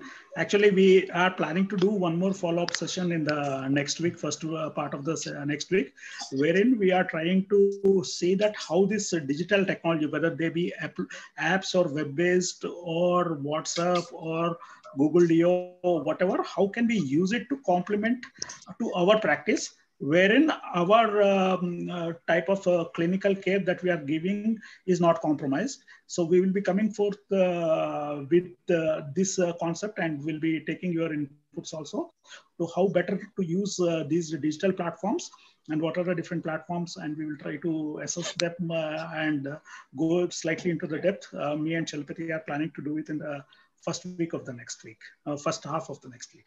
Thank you. Uh, I now allow uh, UMMDA Healthcare representative to speak. Ask the question, please. Yeah, I can unmute and speak. Okay. Yeah, ask Hello. question, please. Yeah. Hello, my question is, how about making now the emergency cases will allow all the non-emergency cases we- who come for follow-up? How about uh, keeping some IT personnel who will put all their old record, important record, into digitalize them? We should make the for the follow-up cases at least paperless. Yes. Number one. This was my first question. The second question is, how about uh, you know the patients who come? They should not be allowed to carry fomites with them, and they carry bags, uh, so many records, X-rays, all those things. They should be allowed to keep them at the uh, entrance, and their hands should be sanitized. This sanitizer, you know, the security pers- person. I have seen the mm, uh, supermarkets there. They spray on the hands. They just rub it as if it's a scent something like uh, scent or something. They're not rubbing it. So most of the people do not know how to use the sanitizer. Sanitizer has to be rubbed uh, nicely into the creases and the nail bed and everywhere. That's not being followed. They're thinking that when that uh, chemical is sprayed on your hands, it's enough. Everything is killed. No, it's not like that. So one thing is this. So how about is there any substitute which can which will be more stronger? Can we ask them to dip their hands like that? You know, in old days when I used to study in Usman, we used to have two bowls. You know, uh, with a towel. You know, one is to have Dettol water, another is to clean water. We used to dip our hands in Dettol water, take out our hands, and then dip it into the other hand. Such things can be kept and frequently changed so that the people rub their hands in that and come. What is the efficacy of this thing compared to this uh, not properly used sanitizer? Thank you. Will you Yeah. give me a clear picture about this? I'll be happy. Yeah. Sir, regarding uh, the first part of the question, so if uh, practically I want to say we we we also run an uh, healthcare IT company and we have our application. Uh, what I practically am planning to do at this point of time is uh, we have uh, a citizens application wherein they can upload the reports which I, can, I will be able to see it digitally or if we don't have the application the simple thing is before the patients uh, come to the hospital we should encourage them that they should call to the hospital and take a prior appointment. Once prior appointment is taken the second aspect that our staff should give to the patient and their attendants are please upload all your old relevant uh, uh, records whether it be previous prescriptions or previous reports including the medicines uh, the pictures of the medicines has to be taken a picture and sent on a whatsapp so that our staff will uh, forward it to us. So whenever the patient comes we go uh, we open our uh, maybe our uh, laptop or our tablet and see into the reports of the patients rather than touching all the all the reports which they are carrying which may have the chances of fomites uh, the second aspect, uh, sir, as you suggested, uh, one thing that is that is present in the Disney World is also that there are have a large um, um, uh, maybe uh, wash washing machine wash machine like things are there in which both hands can be dipped and alcohol based diluted solutions are present in which the kids will keep their hands there wash it and bring it out. As you suggested in the previous era there used to be two two balls used to be there. One one was with the dettol or the savlon and there was a clean thing. Uh, but yeah sir uh, this can be used but if we are if we are seeing more number of patients right uh, we need to balance uh, de- depending upon our, comfortability by keeping our hands and washing it repeatedly within uh, such type of a disinfecting uh, solution is better or using some uh, some uh, gloves as suggested by Chalapati which can be thrown taken out and thrown after each and every patient is that depends upon one's own preferences. We can stick on to any of the things Chalapati you want to add anything Yeah, that's okay. Yeah, fine. I think practicing uh, inner and outer gloves is uh, also important, but uh, even we have to sanitize those inner gloves also each time because you will be handling your pens and papers when you are wearing your inner gloves. When once you are off, uh, out of, uh, you know, once you have, once you once you start writing the prescription and all, uh, you will remove the outer gloves and start using them. Still, we have to sanitize. So, as of now, as you told, I think uh, alcohol-based sanitizers uh, are better. Yeah, okay. Uh, Dr. Srinagesh, you want to ask any question? Yeah, I've got one query about. Uh, am I audible now? yes yes Nagesh Yeah, I've got one query about the medical legal implications of patients not sticking to the safe distancing guidelines. If somebody doesn't do it, are we well within our rights to refuse to see the patient if it Yes. doesn't comply with the clinic? Yes, I think as I told you in my first presentation, we created a informed consent and uh, patient checklist wherein actually patient has to sign and uh, there is a compliance form also that they'll be adhering to the adhering to the social distancing guidelines and all. So in fact, Yeah. uh, one of my colleagues actually actually uh, refused to see the patient. In fact, uh, we should all do that Yeah. if patient is not ready to sign it up. Yeah, Or if that's they become a don't, big uh, problem nowadays. Yeah, yeah, yeah. True, true, true, true. That that's true. You have every right to reject the patient. yeah. So I invite uh, OnePlus to ask the question. Uh, the login ID OnePlus. Hello. Yeah, please go ahead. Yeah. Just small uh, notice to you, you notice. Just you mentioned about Dr. Sitarav's OP. while Mhm. arranging the chairs and moving from one chair to another chair. Mm. That also not practicable because we are shifting to the one patient to another patient position. True, true. I agree. The has to come from the one to the directly to the examination chair before a- after getting sanitized the that chair also. Yeah, yeah. We It's not a should, good we should. Practice. That's not a good practice. So that's why actually practicing in a common room is also not good. Shifting chairs is also not good. Yes, yes, And yes. whenever we see actually a mix up of all these things, we need to, ster- uh, you know, disinfect everything. Disinfect Yes. I agree.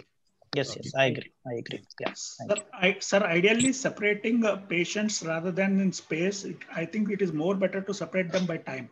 Say if Yeah. my time of uh, consultation with each uh, and every patient is say by around 10 minutes, it's better by bhai I separate uh, giving one appointment to the second appointment by 20 or 25 minutes or 30 minutes so that uh, the crowding within the waiting area will be bare minimum. Uh, okay, Dr. Khaliq, some uh, YouTube uh, viewers uh, uh, is asking that uh, some of the clinics are very small, where there's no scope of having a separate OP for general and uh, COVID suspected patients. What to do in such situation? Separating by time, clinics. separating by time, Okay, separating by time and going to digital platform for follow-up cases. okay. Uh, any uh, Arjun from YouTube is asking any problem with usage of AC? What kind of AC? Centralized AC, window AC? What kind of AC is suitable? Air conditioning. Sorry, sorry, I did condition. Air conditioning. Air conditioning in uh, OPD or hospital or clinics, is it advisable or what? Or what kind of uh, air conditioning is better? Centralized AC or uh, uh, window Chalapati, do you want to take? Uh, I think there are some concerns about uh, you know uh, sucking up air and all, but it is always better to have uh, you know if if you're uh, following the other strict protocols to screen the COVID patients uh, or from non-COVID patients to separate them and all, uh, you can as well use the your regular air conditions because it may be difficult to change uh, everything, including the air conditions. Some of the hospitals may be having central air conditions, so it is it may be difficult. So all of a sudden, if you uh, ask the hospital to change to a negative suction area, negative suction room, it may be difficult. So if you follow the protocols of uh, checklist, uh, you know, the uh, triaging and all, probably you are separating majority of or all of the patients from your OPD uh, so that uh, you are not at risk. But if you have an option to uh, do that in your clinic, uh, probably you can shift on to a negative suction area. Okay. And quite a few attendees are telling uh, the extensive information you people have given, but they're feeling it is difficult to implement. What are your comments? So it's it's just uh, a thought process which we can we have to implement. So depending, uh, it- the practicing places will vary depending upon a small clinics with a single room to a larger corporate hospital or a larger institutes. So depending upon, uh, see, one thing is clear that we are amidst of a storm of a COVID-19 pandemic, right? We have to get prepared for ourselves.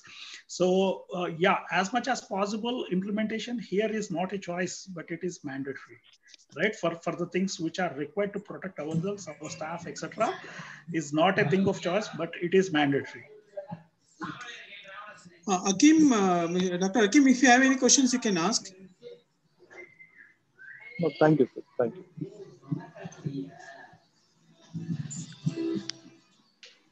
what is that image No, no, no, it's not. But this, chalapati that is your image Which one? No, no, no. no, no, no. Uh, Dr. Akim Karthik. okay okay Yeah, actually, majority of uh, uh, whatever we have uh, spoken is uh, uh, may not be in the literature, except uh, very few.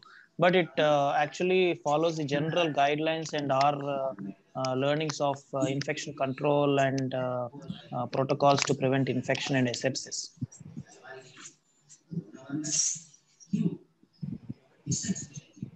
Actually, majority of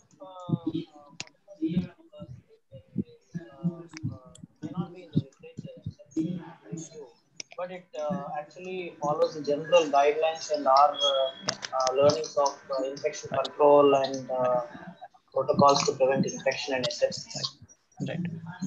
Okay. Dr. Srinagesh, if you have one question. No, no, none right now. Yeah. But the problem is in busy uh, practice, uh, we tend to forget majority of the things. So um, if we actually uh, uh, get some information through this webinar, we practice some certain kind of things. At least uh, we can, uh, you know, it's like a brush up. It's like a brush up.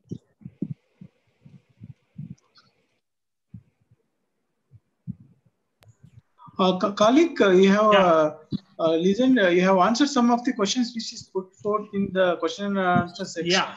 Yes. If we can uh, tell the answer to the general attendees also for if any interesting question being asked. Yes. Uh, one thing uh, uh, Dr. Uh, Mohan Patro has asked that doctors above 65 years have to attend the hospital at least twice in a week, rarely comes in contact with non-COVID patients. What precautions we should take with our family members? Sir, good evening. Uh, one thing is, uh, as uh, I discussed, it's always better rather than working twice a week or thrice a week, it's better to divide into 15 days slot. Uh, the reason being that if uh, one uh, one half of the team get quarantined, the other half can take care of the uh, clinical work so that the hospital and the department can keep running. Second thing is uh, with, without extensive testing, all our potential contacts, the patients who are for us for follow up or uh, each and every, including our staff members, are potential uh, coronavirus infection patients. So we can't say that these people are corona positive and these people are not Correct. corona positive. In spite of uh, having uh, down the line, we may be getting uh, very uh, clearly the antibody testing thing, but still for the antibody to come positive, it will take at least four days to one week of time. So with sure, we can't say that this patient is a corona positive or a corona not positive. Our attitude and mindset should be with each and every interaction that we are happening, we are uh, our interaction is happening. We have to consider them as a corona positive patient and has to take our due precautions. What things we have to do with our family members? First thing is, sir, as I suggested, once coming to home, we have to uh, remove our clothes. We have to keep our uh, shoes outside, take a shower, and only then uh, come out and uh, meet with the family. It's always better to maintain the physical distance with the family members, particularly with the elders if they are uh, at home.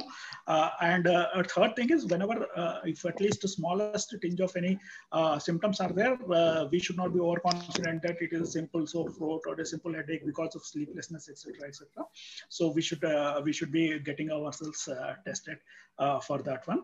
And what uh, extra precautions we should take? Social distancing is one thing. Second thing is, sir, our our um, maybe our plates and drinking glasses should be different uh, from uh, from uh, should be labeled and should be different when compared uh, and we should be using our own utensils of uh, eating uh, and drinking water and if there are multiple uh, bathrooms are there it's always better that the people who go to the hospital they use a separate bathroom when compared to the other family members Okay. Uh, Mr. Panduranga Krishna, you want to ask some question? Dr. Punrikaksha. Yeah. yeah, please. Sir. Uh, myself, uh, after having heard all the discussions that are uh, discussed here at the last one and a half year hours, how far it is uh, practicable in our uh, setup? Sir, this was only an overview by keeping in mind right from a smaller clinic to a bigger hospital. So one thing uh, we should be very clear that we have to be much, much extra cautious than what uh, we used to practice. Our practice is going to be completely different for at least next six months. And depending upon our uh, setup, whether a small clinic or this thing, what are the, what are all the things that we need to implement so that uh, we can reduce the infection. Say in a bigger corporate hospital, they can keep in uh, uh, uh, they can keep in a sensor-based hand wash right at the entrance. But in a small clinic, we can keep a simple wash basin and train one of the staff member that whenever a patient comes, we need to uh, we need to ask them to wash their hands thoroughly uh, and showing them exactly how to wash their hands and then send it. So depending upon our setups, we we we need to. Uh, we need to innovate or we need to change them accordingly. This is not that everything fits for each and every clinic. Depending upon that one, we should take care that all the patients who enter us are entering after a thorough washing of the hands with the soap or by using a proper sanitization, uh, sanitizer and washing their hands. We should be advising them to come in only with the mask with limited number of uh, attendants, as Chalapati was saying, and we should emphasize that they should not touch anything. We should make our protocol so that the patients doesn't wait for a longer period of time. The minimal contact or a no touch policy should be there as much as possible from the clinician's point of view. Maximum report should be uh, should be seen on a digital platform through whatsapp or, or a web based thing and when examination has to be uh, done, a due precaution should be done as if the patient is a um, corona positive patient and then uh, proceed. So uh, these are the few basics that we need to keep in mind and depending upon the size of the room in which we are practicing, the type of the clinic or the practice things, we need to uh, we need to innovate ourselves and see that each, at each and every step, right from the patient coming to the clinic and leaving the clinic or coming to the hospital and leaving the hospital, whether OPD or an IPD or a procedure, we we need to see what are the different places where the chances of infection are there, what better we can do. So we have to work into this one, sir, and try to implement. Yeah. Thank you, Dr. Khaliq. It is a uh, very valid question because many of the small clinics people think in such a way and is a very detailed answer like a concluding remark as well. So with this, uh, I would like to end the session uh, uh and I thank all the attendees uh, for uh, Chalapati has something to say.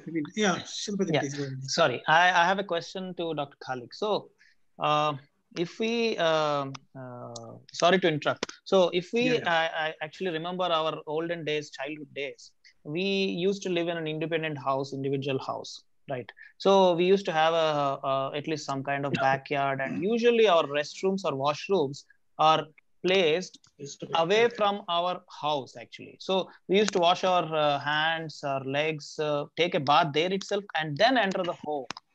Now yes. we are you know living in flats or apartments where there is a mix up at multiple levels at the parking at the security at the lift or at the staircase. And uh, we all i think more than 99% or 100% of us has actually uh, uh, you know attached bathrooms attached toilets to close to our bedrooms. And we have to cross our main hall where kids may be playing. We, we, we have to you know cross the bedroom and then enter the toilet to uh, follow all these protocols. So what is your modification in this current era? Yeah one one thing as i said first thing is as we come out uh, as i said that um, recently evidence has also come that uh, by from the food source also this virus can be transmitted. That's the reason why i said we have to keep uh, the shoe covers within the car so that we wear the shoe covers go to the hospital with those uh, covers right and from hospital, once we come, we, we take out those shoe covers and keep in the small dustbin which we are keeping within the car, right? So that, that can be uh, excluded. So whatever the shoe is there, that is uh, probably uninfected. Second uh, thing that we are doing is once we come out, we are, we are leaving all our uh, footwear outside of the home and coming in. Third thing for an extra precaution, if we want to keep, we can keep our own pair of slippers right at the entrance of the uh, home, the main gate, right? Once we enter our, uh, our apartment, we, we wear onto that slippers and directly wash it into the uh, bathroom by going through the hall as well as our, uh, our, our bedroom. Third thing is we need to communicate with our elders as well as particularly with the kids because they don't understand once we come home, there are so many kids who come and work, particularly small kids are there. We need to uh, make them understand uh, that our behavior may be changed for a few months and our closeness of the time may be difficult uh, in the coming few months that we need to communicate with the kids that we should not be touching once we come to the hospital. And once we uh, this is these are a few things that can be done after coming back to the home. Yeah. Thank you. So uh, should we take some more questions colleague yeah yeah. Yeah so i think there are a few more questions? I think, yeah, yeah. we'll finish it first. Uh, asked by Uttara Mohan that uh, can we use formalin chambers or UV chambers for patient files, uh, violates, mobile? Yeah, UV has formalin. Uh, formalin chambers. Formalin chambers, I'm not aware, but UV has been shown to be uh, having good uh, um, uh, say uh, denaturating agent against this one. This has been proposed for uh, denaturating the uh, virus, particularly on the masks, etc. If the if there is a luxury of having a uh, such type of UV chambers, we can use it. Second thing, but uh, second thing is about the formalin. I am not aware, but one thing that has come about uh, reusing of the N95 masks is one study from Duke uh, University has come, wherein they have aerosolized hydrogen peroxide into small, small uh, aerosols, and uh, they were uh, these aerosols were given to the mask for a certain period of time, after which the masks were, were fit to be reused. By using the formalin, can we make that small size of the aerosols? I'm not aware. Uh, of that one. If that is the condition, we need to look into the literature how effective it is for denaturing the virus. And uh, further, uh, she adds that uh, patient linen can be ETO sterilized. Patient's linen, yes, can be, can be. Yes. Patients, and one thing that uh, that we proposed uh, previously is there is a lot of uh, hangama about the PPEs, but one PPE that I think is a must is the N95 mask. Or in a simple word, if I want to say, going to the hospital or a clinic without N95 mask is as equivalent to going out of the home without clothes. Hmm. Right? So that is the importance of a N95 mask.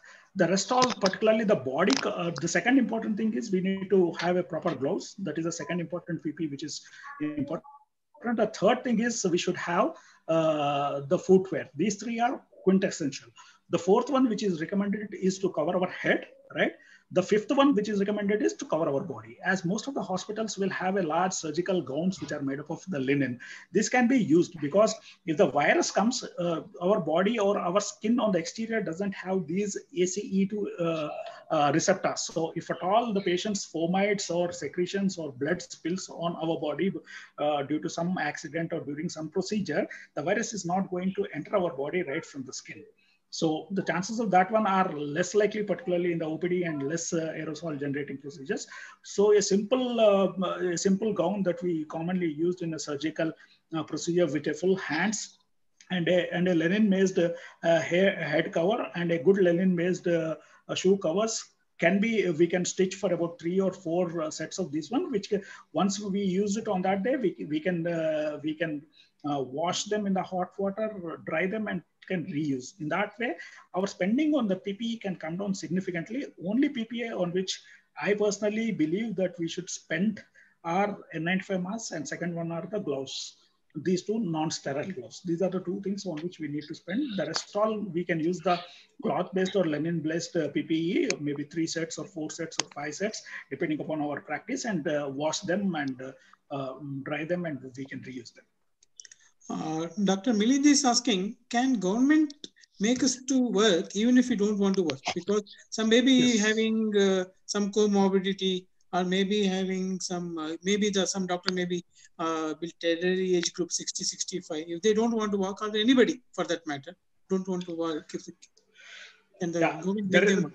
There is one act which is ESMA in Andhra Pradesh. Uh, Chalapati will be in a better, better uh, position to answer that one. But no one can force anyone to uh, to push to the hospital. Obviously, I, I do feel that uh, particularly elderly people, uh, elderly doctors or doctors, senior doctors or doctors who are having comorbidities uh, like um, diabetes or hypertension, which is quite common, or uh, people who are having a COPD or such type of high risk group of uh, practicing physicians, it's always uh, advisable not to venture into uh, to go for a practice uh, so effluently just to wait and see for under two weeks or four weeks how the rate of infection is going and what actually the data from India is coming, how much is the mortality rate, right? And then take a uh, take a guarded uh, way of practicing, because we have seen so many of our colleagues, uh, uh, at least two colleagues in Andhra Pradesh, have uh, died because of this uh, corona infection. In India also, we are seeing that the doctors are dying. So it's better if we, if we are having a bit of comorbidities to at least wait for two weeks, four weeks and see and assess how our, how, what the data is saying, how infectious our, um, this type of the virus is present that is present in India and how good our facilities are able to tackle them and then venture into practice. Uh, Dr. Uh, Mohammed is asking, can N95 be reused? Yeah. Yes. N95 has to be reused in a country like India. That we don't have a luxury of not uh, using this respirator for a single time. Yeah for reusing how many times to reuse? One of my uh, one of uh, our uh, colleague has asked we don't have a clear cut uh, uh, idea how many times we need to use but two or three things are there. In n95 there are small small microfibers are there. So the more you, the, you use the more efficient it becomes. It is not like it will become less efficient because whenever the virus particles comes there are three or four mechanisms by which the virus is obstructed. One is the mechanical thing. Second one is a stereotactic charging is there.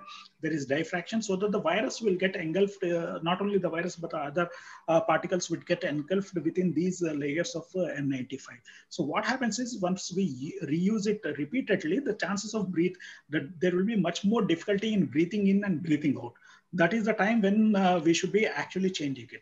Practically, there are two ways of using it. If we are having less number of N95 masks, uh, there should be at least two so that the uh, once we are using the first one, the second one we can we can uh, we can denaturize it by using a microwave method, which is well described by steam uh, by steaming uh, this um, outer surface of the N95 by keeping in a microwave for at least uh, half an hour of uh, time, which can be reused.